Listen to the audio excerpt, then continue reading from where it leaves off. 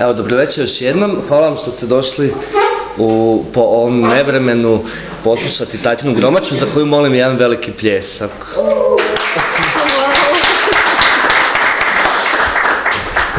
Tatjana, hvala što si došla, što si pristala uh, sudjelovati u svojoj promociji. Hvala što ste me pozvali. Um, povod je, uh, evo, novi roman Carstvo nemoći. Hoćemo ga zvati romanom. Pa kako ti želiš, ja ga zovem. Da. Kako bi ga ti zvao? Pa, mislim, on, on zapravo u ovoj osnovnoj elementarnoj definiciji je apsolutno roman. Imamo polifoniju, imamo uh, mijene žanrova, uh, puno se osjeti uh, tvog interesa prema eseistici i prema filozofiji. Pa me zanima kakva je bila ovaj put uh, procedura pisanja, kako je izgledala, koliko je trajala, uh, što te je ponukalo da uh, ga zgotoviš, kada si znala da je kraj? Previše pitanja sam ti postavio, možeš odgovoriti samo na jedno. Da. Pa to je roman koji sam uh, pisala negdje uh, 2014. Um, kad sam zgotovila na prethodni uh, roman uh, Bole svijeta, uh, sam uh, htjela ići dalje nekuda, E, obzirom da je uh, Bole svijeta bila dosta teška knjiga uh, i neka vrst uh, čišćenja uh, mog vlastitog i, i nekako odnosa sa sredinom, um, onda je ova knjiga trebala um, biti, nek- e, biti nekakav novi početak i neko novo um, os- kretanje iz nekog oslobođenog prostora koji je samo naravno uvjetno oslobođen jer e, pitanje slobode je dosta diskutabilno pitanje. Um, tako da um, sam znala da želim um, uh, jedan uh, glas koji će biti drugačiji, odnosno jedan tonalitet koji će uh, sada biti, neću reći lakši, ali nekako pitki, smireniji i da će ta knjiga biti jedno traganje, neka vrst lutanja, traganja za ljepotom nakon onog one, one bure iz fumata u, u, bolest svijeta. Nekako prirodno je da nakon toga a, d- ide nešto a, pročišćeno, smirenije i tako da sam ja u biti a, taj tekst kad je bio gotov, m, razmišljala sam da li da stavim onako pod naslov meditacije ili tako nešto, jer meni je to nekako u tom tonu, jer su, jer je neka meditativna je um, smirujuća atmosfera.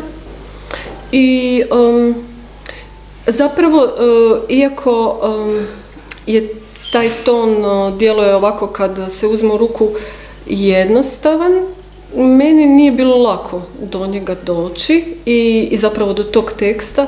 Um, recimo da sam nekih um, pa ono, 7-8 mjeseci pisala intenzivno i nakon čega sam shvatila da to što sam napisala nije to, to je šta ja znam bilo nekih 150 stranica ovoga teksta.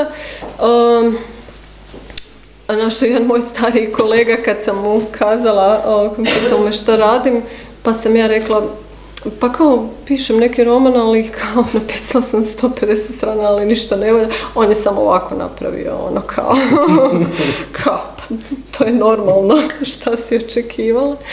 Um, i onda je, onda je došlo do, e, do zapravo tog tonaliteta za kojim sam ovoga tragala i onda se nekako počeo uspostavljati red i e, taj unutarnji o- red tog romana i onda sam znala da sam na, na polju koje sam u biti tražila, ne. Mm, umjesto prologa otvaraš uh, roman sa Günterom Grassom. Pa evo, zanima me uh, kako je on ušao u priču, i uh, smijemo li ga prozvati tvojim nekakvim literarnim sugovornikom, uh, inspiracijom ili omraženom književnom figurom?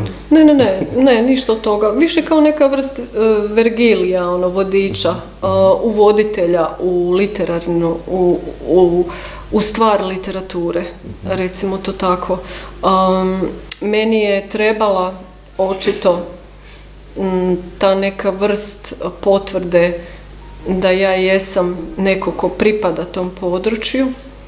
Um, obzirom da vanjski svijet uh, često daje negativne, uglavnom, rezonance sprem toga, pogotovo ja sam tada još bila u jednom kontekstu koji, um, kojemu to nije odgovaralo ovaj, ovaj vrst, ova vrst mojih ambicija i realizacija. Um, tako da uh, negdje duboko meni intimno je trebala uh, ta potvrda i uostalom ja sam osjećala da ja jesam neko ko, ko, ko pripada tom području i, i i onda sam si to na neki način i pisanjem ovoga potvrđivala, odnosno on mi je tu kao jedan e, stari dobri učitelj ovoga koji je već prošao sve, sve te ine torture ovoga e, i koji isto tako već onako odmahuje rukom i kaže hajdemo prošetati ovim puteljkom ovoga e, trebao mi je neko takav. Ja sam mislim da ćeš odabrati spisateljicu zbog toga što mi se čini da muško iskustvo pisanja i muško iskustvo bivanja autorom je nerijetko diametralno suprotno od ženskog.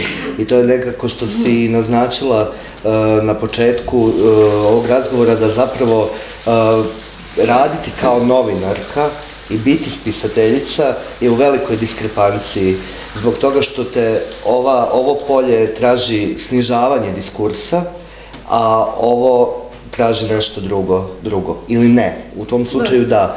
Pa me zanima Uh, da li misliš da je nekakva velika razlika? Meni se pa čini... Pa ne, ovo što si prvo pitao vezano uz muško, uh tu ja imam ovoga, um, moje iskustva s pisanjem su prije svega takva da o, ja e, izlazim iz spola mhm. kad sam u, u, to, u toj vrsti kreativnog rada.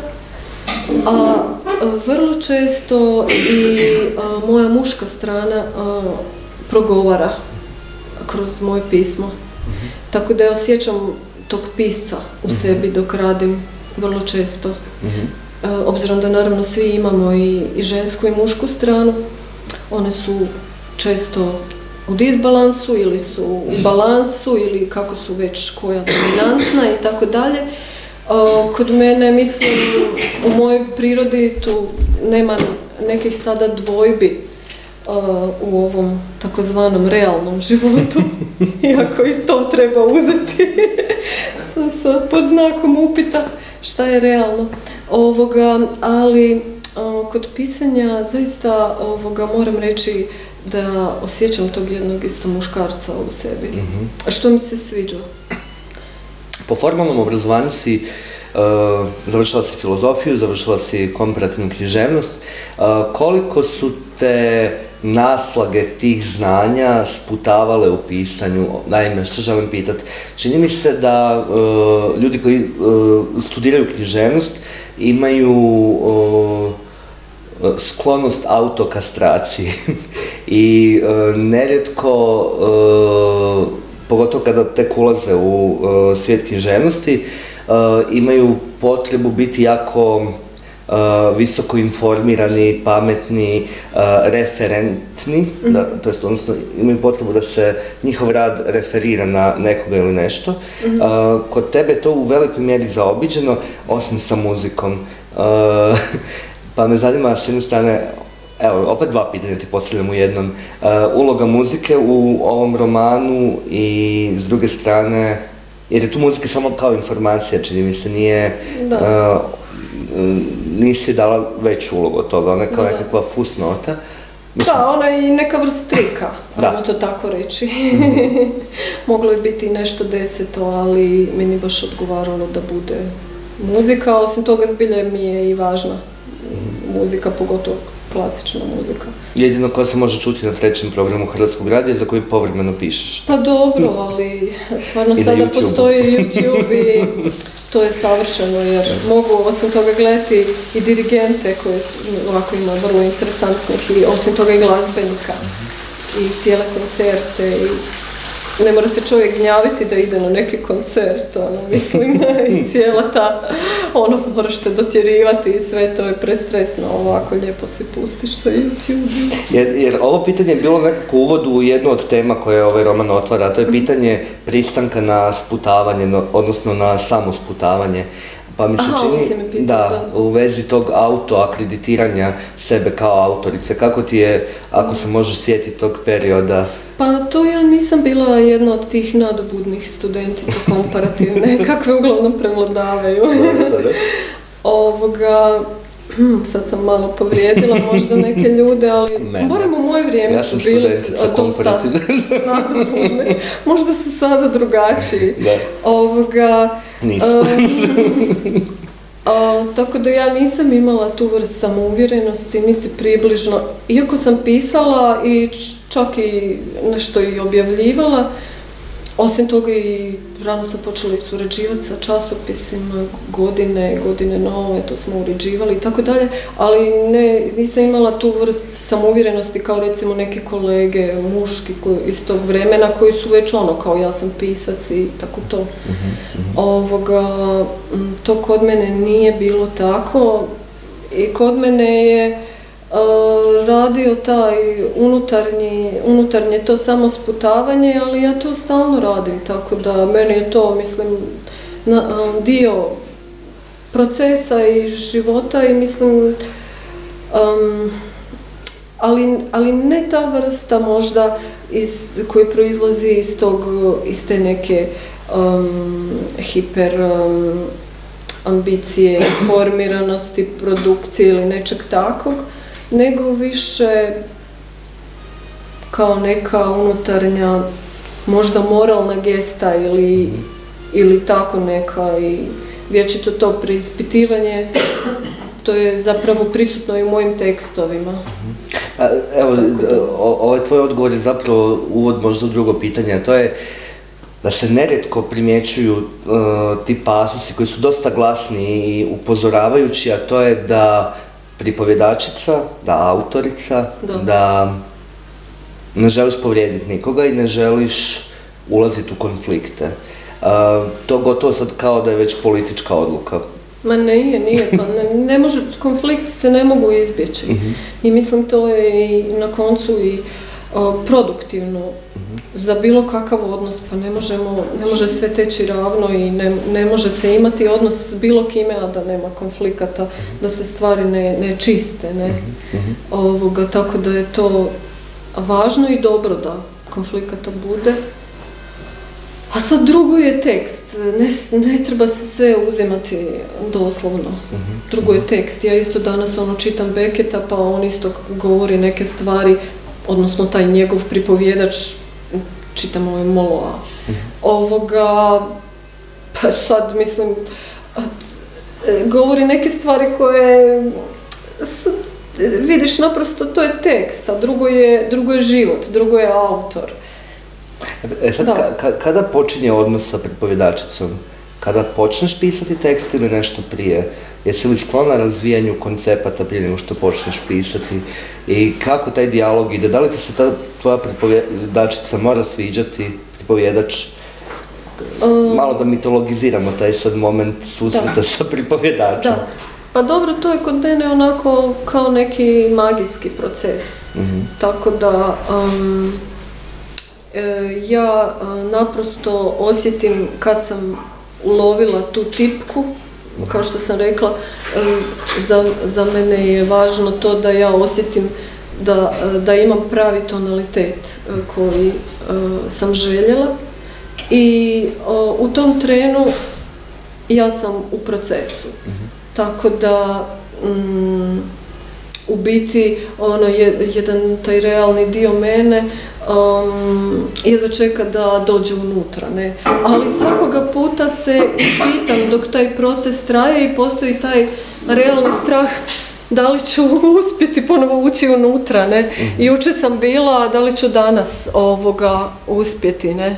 Ovoga, tako da to nije uh, za mene um, nešto pojmljivo, čvrsto, konkretno i jasno, nije nikakva um, unapred zadana struktura, nego je jedna vrst rada na jednom tekstu, na jednoj uh, partituri uh, ko, koja, uh, kažem, kada je uhvaćen, uh, onda, onda, onda moram ponovo ući u, tu, u taj tonalitet, da li kroz e, čitanje onog prijašnjeg ovoga što sam napisala do tada, pa me to onda ponovo blago povuče ili naprosto kroz pisanje, pisanje da ponovo osjetim onu vibraciju koja je vibracija tog teksta i onda uh, se hvatam na ono prije.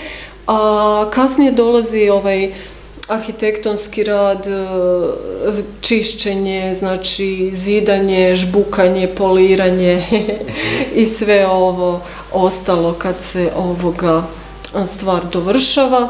I ono što si pitao kad je gotovo, kada apsolutno više nemam motiva, nemam potrebe i već razmišljam o nečem drugom, onda znam ovo je gotovo. Mhm.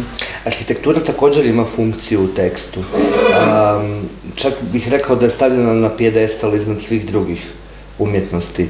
Ali tu je i muzika i tu je s druge strane Aha, tekst koji ti, ti, ti najviše... kažeš doslovce arhitektura, ja sam mislila na arhitekturu građenje o, teksta. Ne, razumijem, ne, ne, ne, ali da, arhitektura ali zaista u, u, je. u carstvu nemoći ima je. funkciju, ne bih rekao da je ništa drugo. Je, da. jako važna i to i za mene inače kao osobu a, su prostori strašno inspirativni, mislim kao osobu, da, i kao osobu i kao umjetnicu ovoga i zapravo sam napisala jako puno tekstova koji još i nisu objavljeni, koji su nadahnuti prostorima i arhitekturom.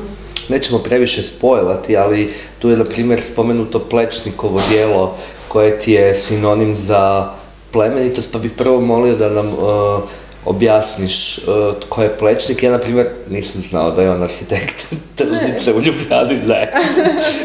pa evo, predstavi nam ga. Ojoj, pa dobro, pa i on je... Mislim, ne znam da to iko drugi zna.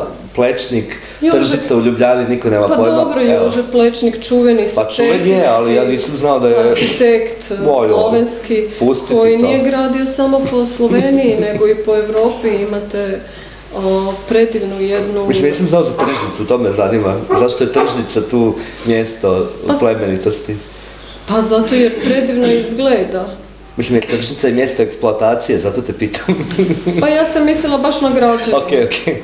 I osim toga čuveno tromostolje mm -hmm. i jako puno, naravno, predivnih ovoga zgrada u Ljubljani, ali kažem, evo recimo, isto je fascinantna jedna crkva u Pragu koju on projektirao u, u onom čuvenom naselju Žiškov, ako poznajete Prag, ovoga, e, baš je ono, mislim u, Evro, Evrops, u evropskom rangu ovoga, njegov rad, apsolutno, a strašno me je dojmila njegova kuća, a i to preporučam da posjetiš kad budeš u Ljubljani. Inače, baš sam pročitala negdje do sada, njega žele proglasiti svecem Slovencem, što je stvarno ono, mislim, apsurdno zvuči. A palim svetaca, mislim. Da, ovoga...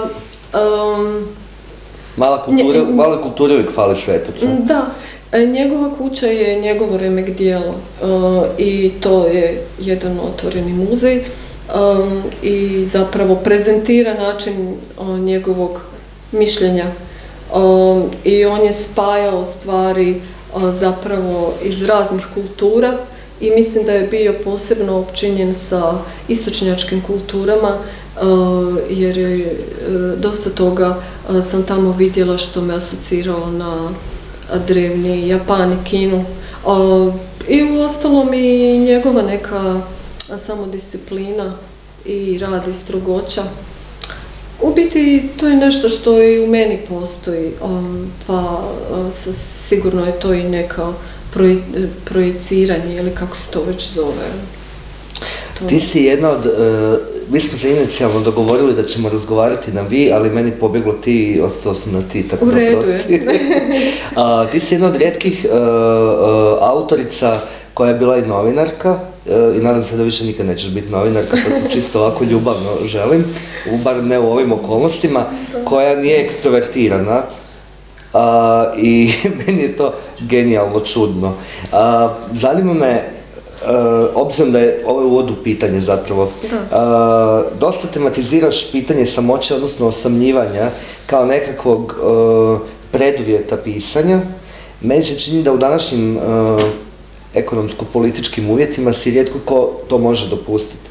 Tu vrstu, pa samoizolacije. Da kako se oslobađa taj prostor slobode, ako to je sloboda, ako nije zatvor, tmina, papir i tinta? pa mislim, ne, nema, e, sloboda je u trenucima, a, oslobađanje prostora, meni je to došlo kao jedna vrst e, životne nužde i neumitnosti i zapravo situacije, ali prostor, ako, ako ste pisac, ako si pisac, prostor se mora osloboditi. Znači, to nema, uh, to je imperativ broj jedan. E, ne možemo biti pisci ako nemamo prostor za pisanje, vrijeme za pisanje. E, isto je i sa slikarem i tako dalje. Znači, uopće nije bitno kada, kako, gdje, prostora mora biti. I to nije nužno da bude prostor od 5-6 sati u komadu ili ne znam šta. to si ne možemo dopustiti u današnje vrijeme. Ali prostor od pola sata ili sat vremena dnevno si svako može dopustiti za bilo koju vrst kreativnog rada, što je mislim nasušna potreba svakog čovjeka. Tako da ja isto nemam neki veliki prostor obzirom da imam i obitelji, majka sam i usput pokušavam i nešto malo za kruh zaraditi.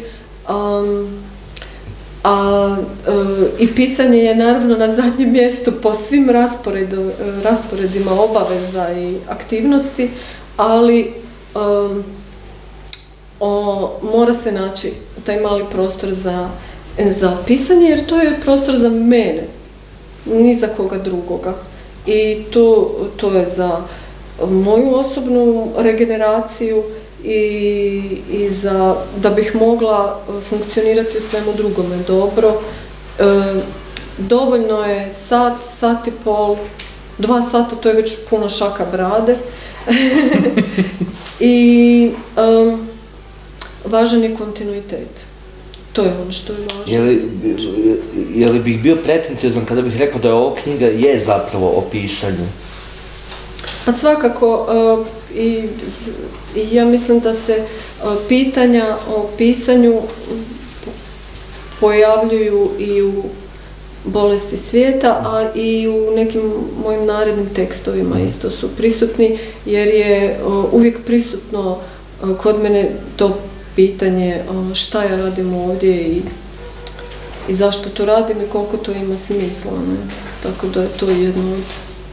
Michael Cunningham u onoj slavnoj knjizi Sati koja je postala onda još slavni film, jedna od rečenica je da njegov protagonist e, kaže da je želio pisati o svemu, da mu je to bila namjera, a negdje na kraju tog e, monologa on kaže da u tim svim okolnostima će zapravo prvo pjesnik umrijeti. Pa obzirom da je jedna od tema i to da društvene laži zapravo inherentno ubijaju pjesnika u ljudima, a svaki čovjek je pjesnik na izvjestan način, samo je pitanje da li može to kanalizirati, da li je oslobodio i da li će ikada, da li ima interes. Zanima me uh, što za tebe znači biti u tom smislu pjesnikinja a, i koje su to društvene laži koje su prve, prve optužene, uh, koje ubijaju pjesnika.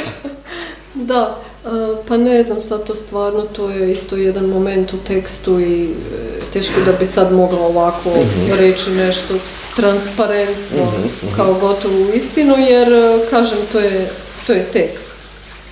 Um, a, Ne, ne moramo ga pravdati, samo možemo malo misliti. da, Što bi ovako bilo sada, evo danas, uh, 15.12.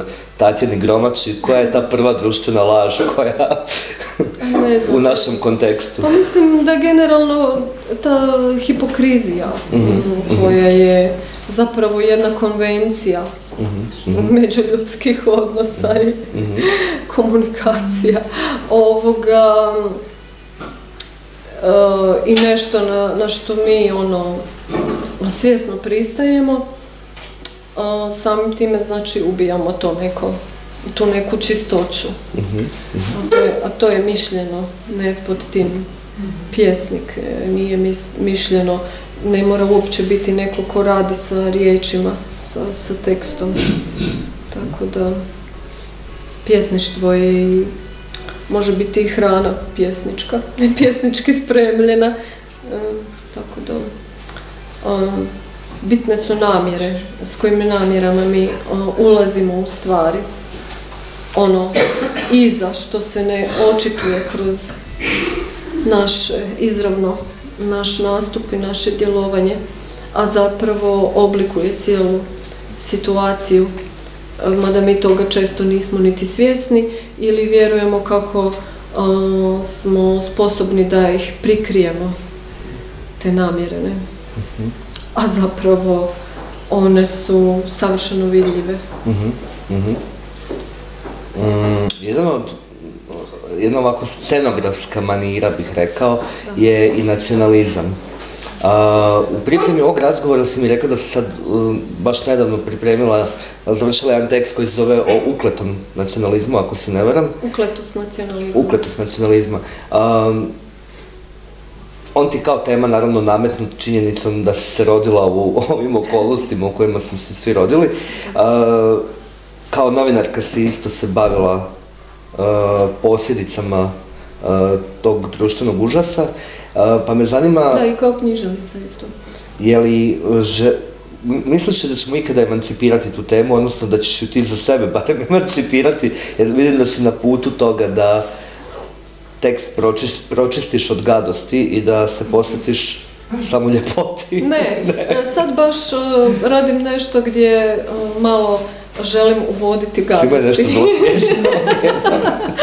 Jer uvijek su bit, važne su promjene u, u stvaralačkom radu, tako da nikad ne možemo reći da smo došli na neku čistinu koja je sada konačna, nego sad me baš veseli da malo ovoga neke riječi koje inače ne upotrebljavam i koje su onako malo gadne, ovoga, da njih ubacujem u tekst i, i baš ovoga, da s njima malo eksperimentiram i sa gadnim stvarima.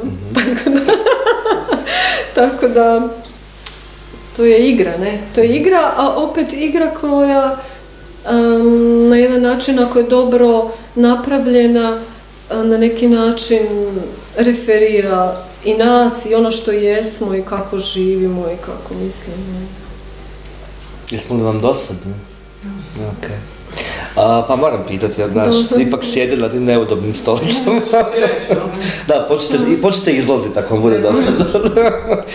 Zanima me, e, kako, e, da, jedna, još jedna od tema koja otvara ovaj roman je patronat zrelih godina, odnosno nekakvo e, podsjećanje na to da je odraslost gotovo pa privilegija da to nije a, nešto što će se dogoditi ukoliko se bude išlo ka tome sa godinama, sa iskustvom, znanjem i interakcijom, nego to gotovo ko klasa a, u kojoj se rodiš, tako ti bude, tako i odraslost. Neko se, uglavnom oni koji su se starmali rodili, ti u nekoj varijanti budu odrasli, a većina drugih ljudi e, vrlo elegantno želi zaobići taj, e, hoćemo to nazvati identitetom?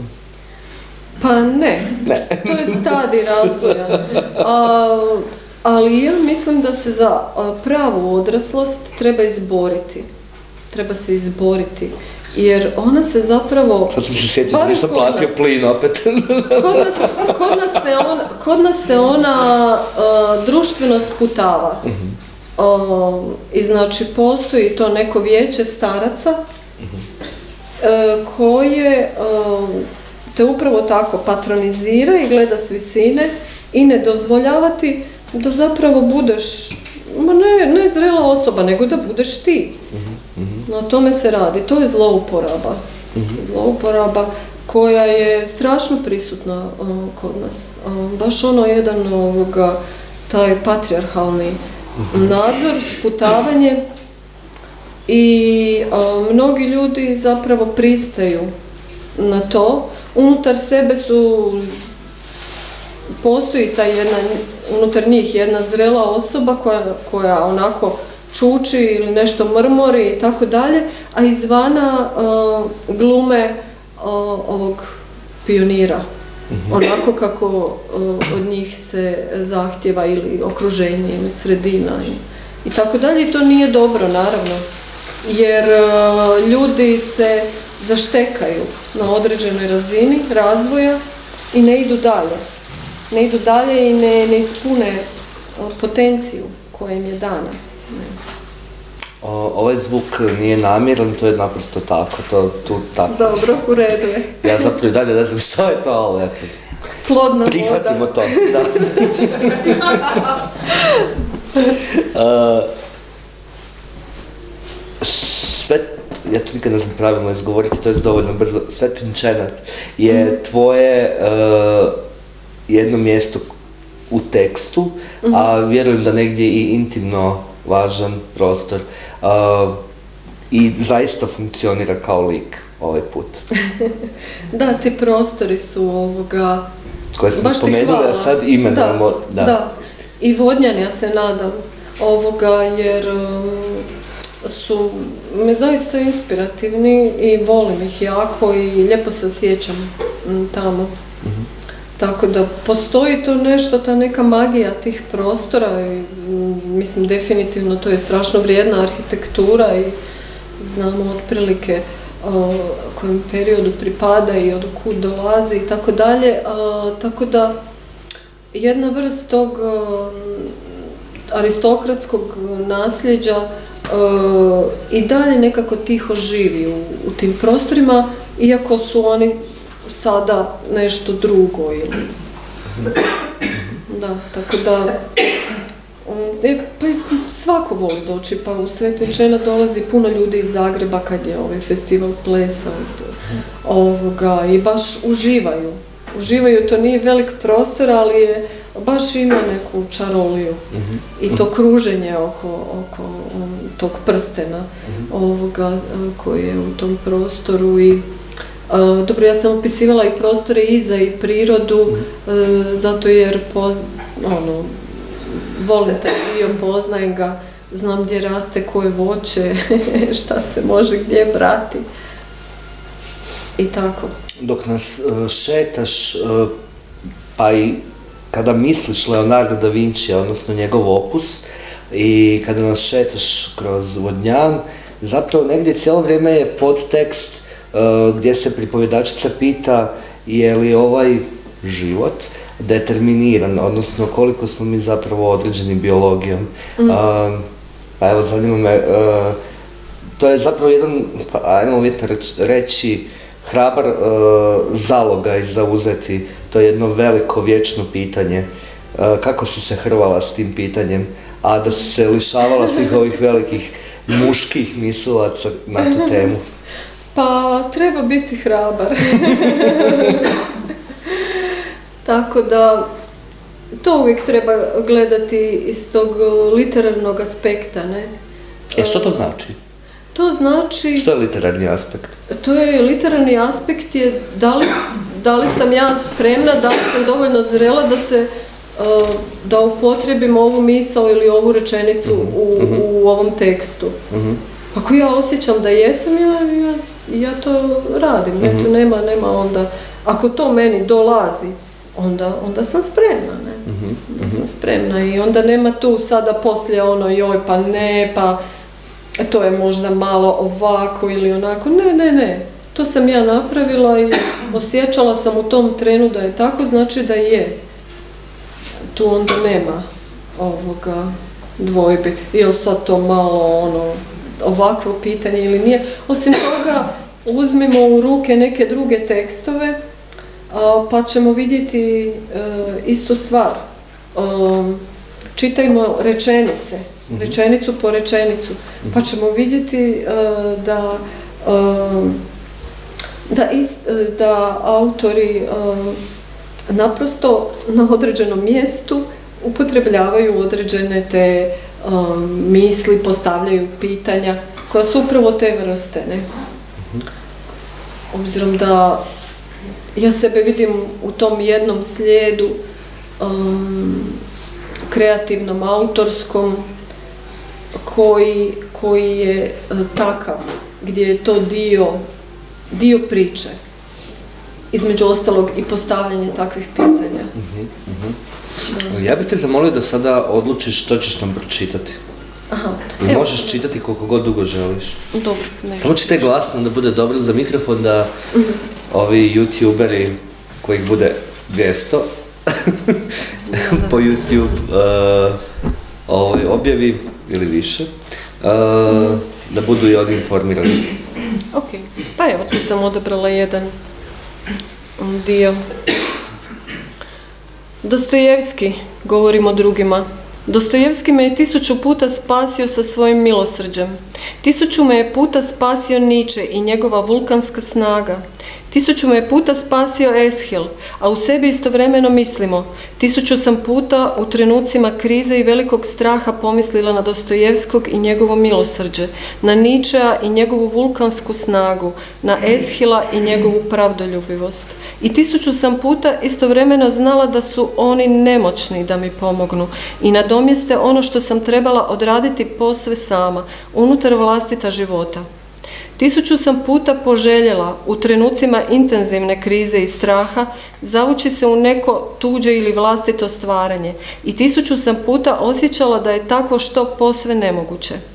Ja sam se nalazila na jednoj strani, u takozvanome realnom životu, promatrajući umjetnost i umjetnička dijela kao beživotnu zgužvanu vreću za spavanje, u kojoj mi u tome času nije dano da zakoračim, da se u njoj skutrim i ondje otupim na boli i udarce koji su pristizali izvana. Onda kada su boli, udarci i kušnje bili najteži, nije mi padalo na pamet ništa filozofsko. Tada me ništa nije vuklo prema glazbi, slikarstvu ili knjigama. Mislim je zakupljao samo Bog i moj vlastiti odnos s njime, Ulaskom u patnje i kušnje svjedočila sam boravku unutar takozvane nadstvarnosti, u kojoj sam postajala očevidac i sudionik u manifestiranju božanske volje, snage i ljubavi, mudrosti u vođenju i promatranju ljudskih sudbina. Tada je moje cijelo biće iznenada postajalo kao nanivo rođeno, otvarajući se za čuda božanskog stvaranja. Nikada nisam bila toliko udivljena ljepotom neba, mora, raslinja, arhitekture, koju sam odjednom iznenada također počela shvaćati kao dio Božjega dijela, kao onda kada sam boravila na jednom bolničkom odjelu u Rijeci. Svi ljudi koje sam ondje susretala nosili su na sebi jasan biljeg Božjega i oni za koje sam vidjela da su na krivome putu ili u zabludi. S takvima sam morala doći do prirodne razine poravnavanja, do konačnog razrješenja čvorova koji su se između nas isprepleli. Tek sam tada mogla napustiti odjel u bolnici, na koji nisam došla kao grešnik, već kao neko ko se bori za svoju istinu i slobodu. A Čempres koji je stajao pored moga balkona toliko me je noći svojim tihim mrmljanjem tješio. Zašto govorim da, da mi tada nije padalo na pamet ništa filozofsko? Kada sam tada bila unutar filozofije same, unutar njenoga vrha, to o čemu govorim je Heidegger, to o čemu govorim je Spinoza, Pascal ili Kant. Tješila sam se.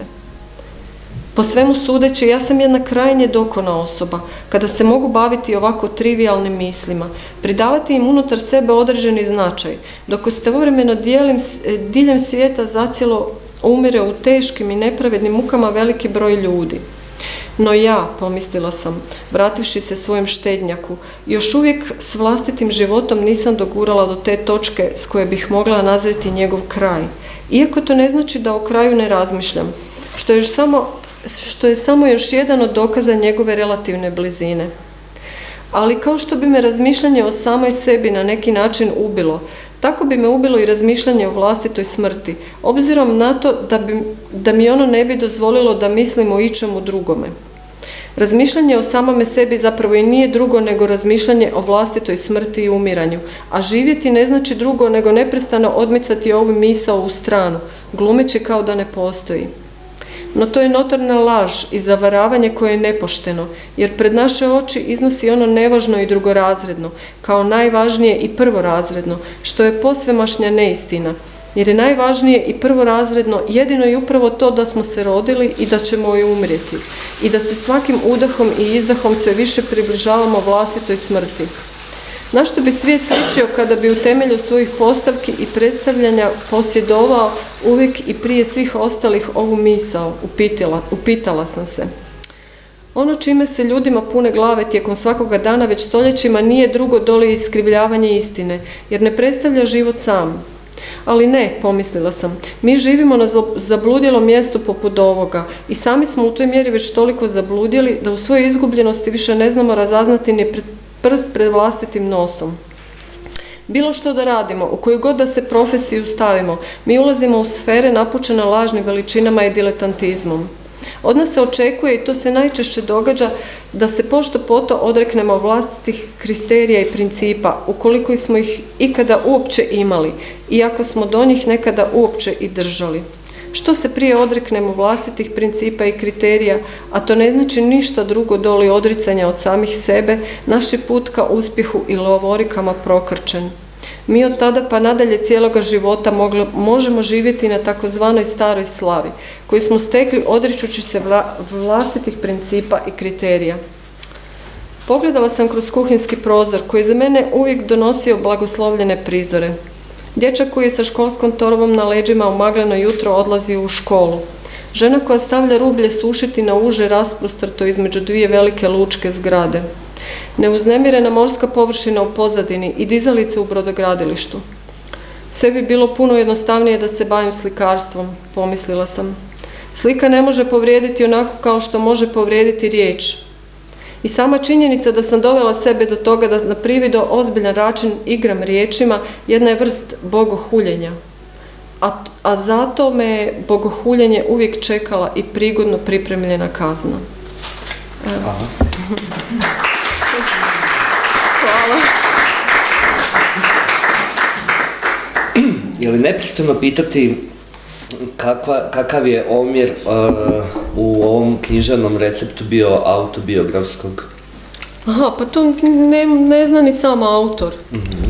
Jer uh, uvijek se preljeva... Improviziraš sa receptima. Uvijek se preljeva iz života i onda ovoga i onda se mjesi i oblikuje nešto treće. Uzimaju se komadići, ali isto tako i fantazija radi svoje. Tako da, odnosno imaginacija, ne? Tako da ovoga, ima svega i... Jer to ja nas, dosta... ja nas zavarava uvijek, Da, da. To je ovdje sam čak dosta i fantazirala. Kao ono, čak možda više nego u nekim ranijim tekstima. Nije ovo htjelo biti glorijsko pitanje, samo ovaj, čisto iz pristojnosti nameće da, se. To je stvarno nemoguće mm. dešifrirati. Ni ja sama to ne, ne znam. A, ovako, kada bi e, za lektiru morala analizirati svoje dijelo, kako bi opisala tu pripovjedačicu? Pa ja ne znam stvarno jer e, nisam još se bavila e, tom auto interpretacijom. Mhm na, tom na toj jednoj recimo poluznanstvenoj teorijskoj razini, ali možda ne znači da jednom možda neću napisati nekakav autoreferencijalni esej o svom radu. Ako već niko drugi ne bude htio. Onda ću ja. pod stare dane. Uh, o spomenutom strahu da se nikoga ne povrijedi, uh, dolazimo i do funkcije oprosta i hvala, to je recimo, evo sad ću ti reći točno, na 194. stranici, a, a, ako si zaboravila. da, da. Uh, reci mi nešto o tim vrijednostima za koje se zalažeš, a sada djeluje da se za njih mora zalagati, a to sve ide i do pitanja a, napuštanja negdje novinarstva, odnosno novinarstvo napuštanje tebe, to je novinarstvo koje tebe napušta. A, da, pa ne znam, ovoga, Prošle godine sam imala promociju svoje knjige Bolest svijeta u, na sajmu u Puli i tad su govorili Zdravko Zima i Bora Ćosić o toj mojoj knjizi i onda su oni rekli i meni samo i neke zanimljive stvari. Pa između ostalog Bora Ćosić je rekao da ja želim promjene u društvu, ali ne nasilnim putem. Ovoga, um, znači, i da vjerujem u mogućnost promjena, ali ne koristeći silu. Uh, pa izgleda da je tako. Izgleda da zbilja, zbilja da je.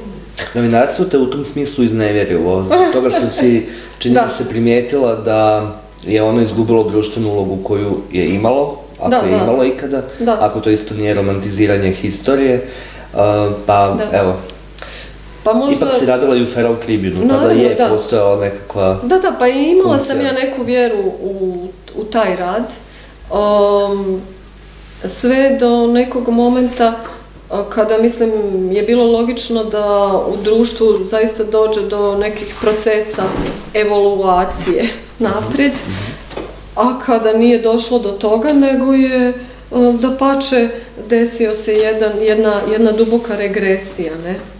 Ovoga, onda sam, onda više zaista nisam ovoga mogla vjerovati u taj rad, jer mislim, mi se desila bjelodana potvrda da ovoga, i prije te regresije zapravo sam ja um, su, bila suočena s time da a, taj rad od mene sada traži samo da vrtim pedale na jednom mjestu. Ne? I to je za mene bilo stravično jer ja sam ono tip osobe koja ne može podnijeti to.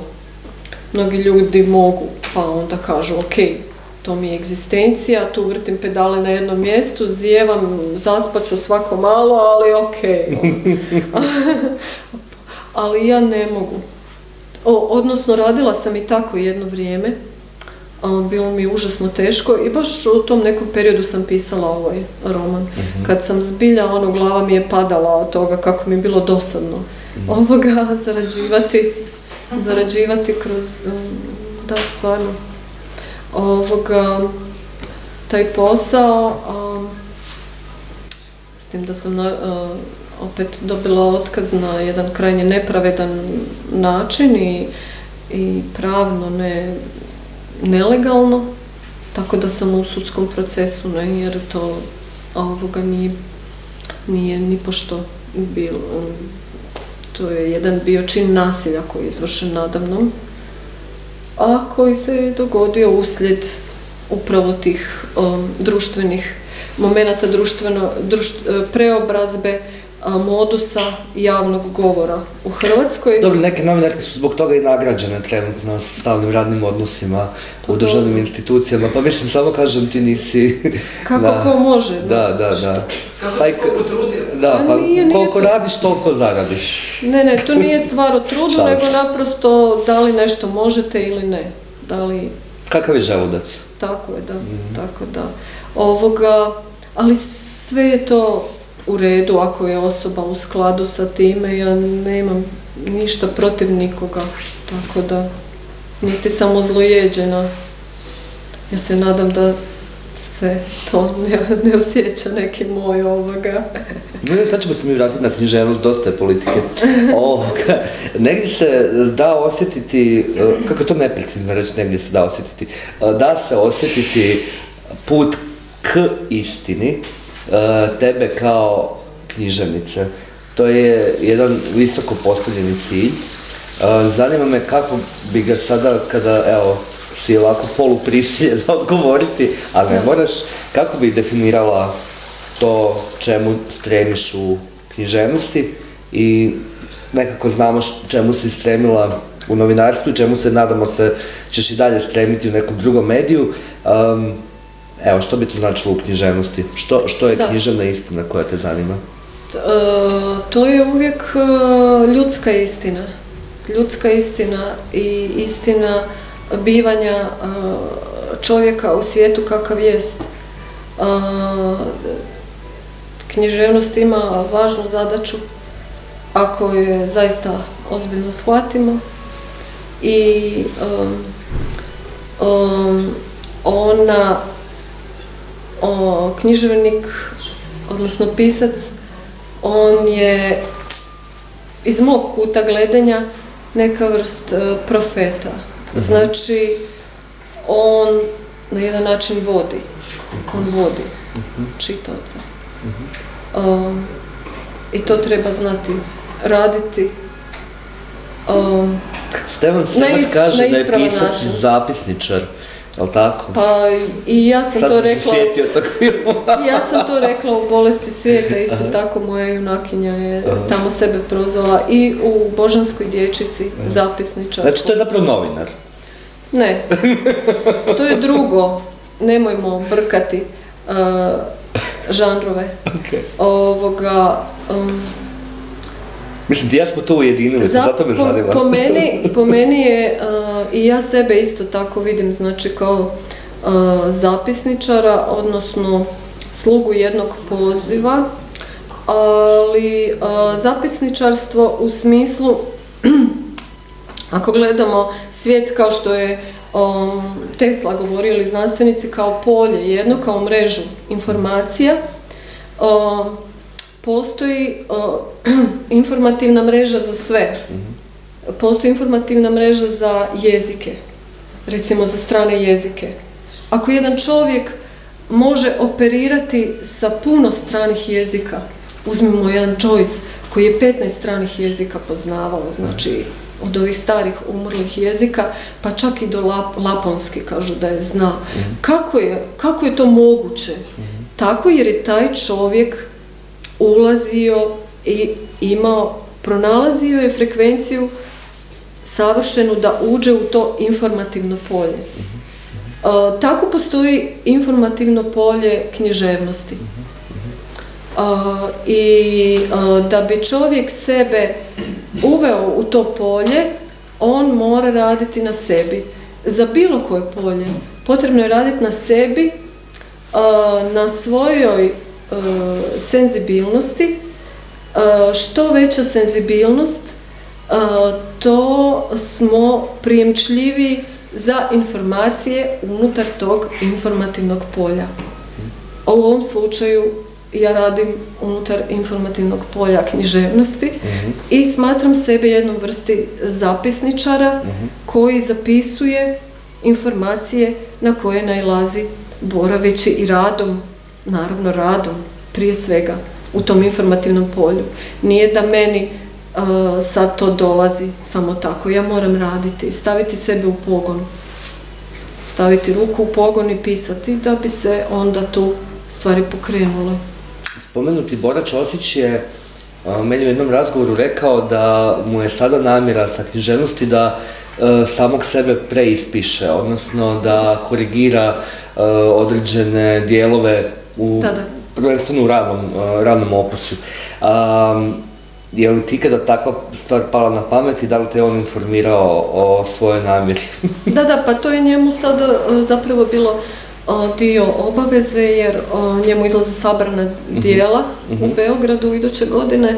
Prvi svesci e, u 25 svezaka ćemo objaviti, to je jedan mali antikvar i knjižar, beogradski jako dobar, ima e, jako lijepu biblioteku gdje ima klasike europske Žida, Šandor Maraja, e, Eliasa Kanetija, znači ono vrh.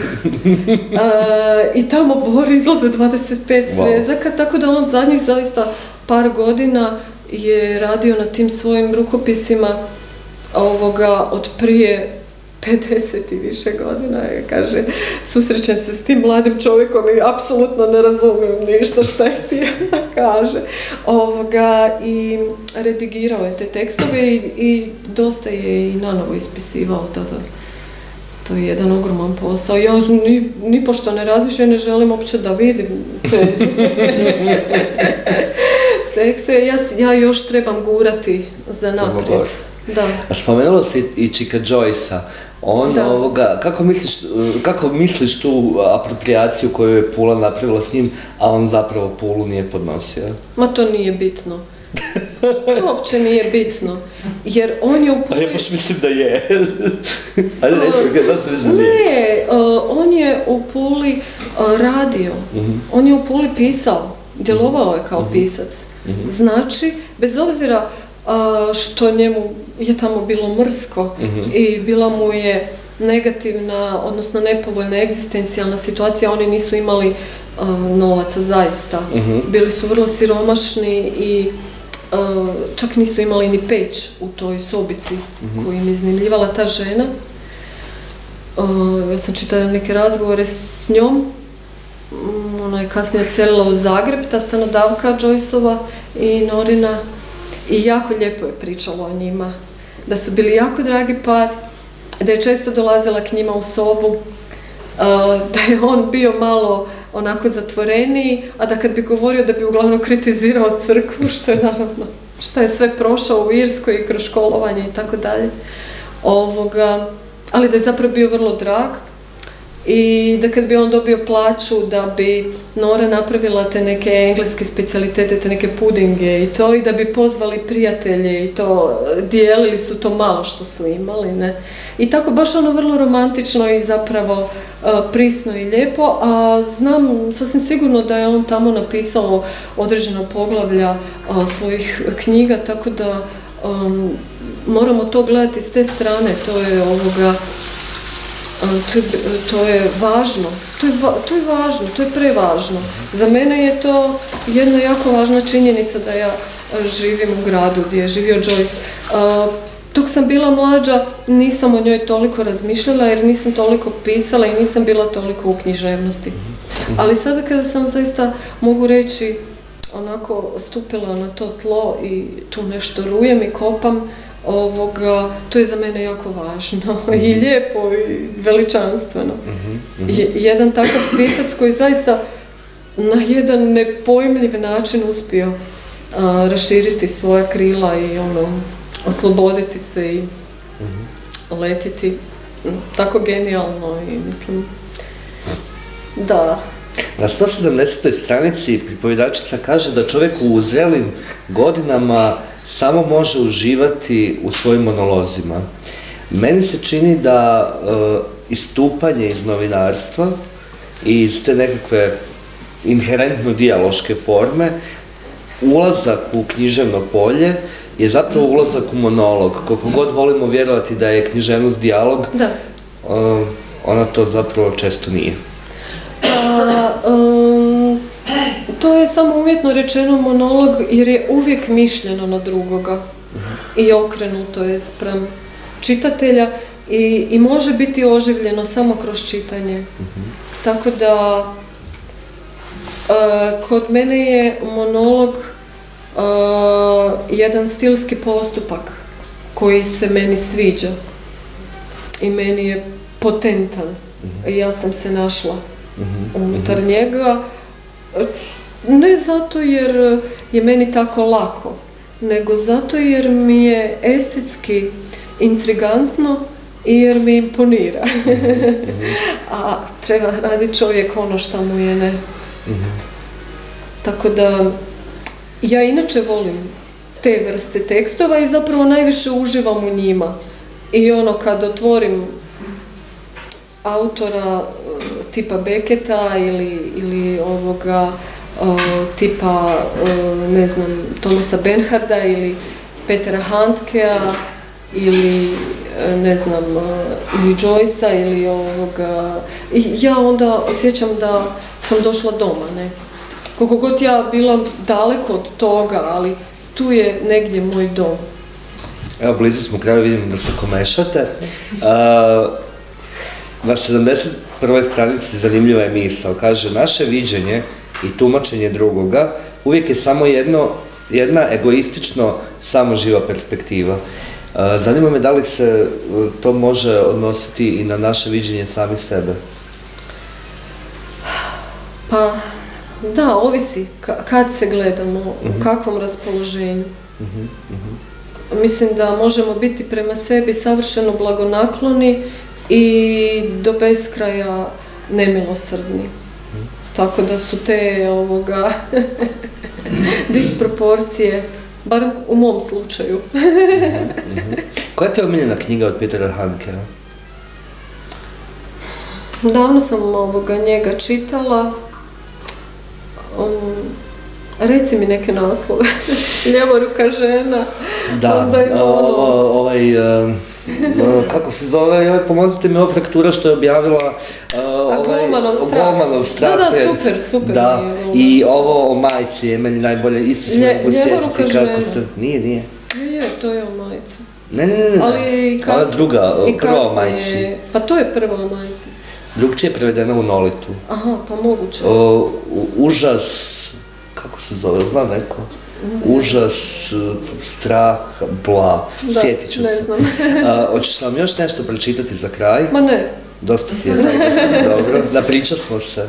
ma da. Je li ima pitanja iz publike? Nema, ima, nema, nema, ima, nema.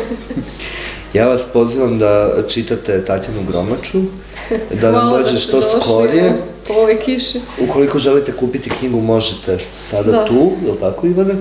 I uh, ja vam se zahvaljujem na uh, slušanju, trpljenju nas dvoje. Nadam se da nismo previše brijali. Uh, meni je bilo jako ugodno. Tatjana, hvala ti Meni što si došla. također, hvala tebi. Hvala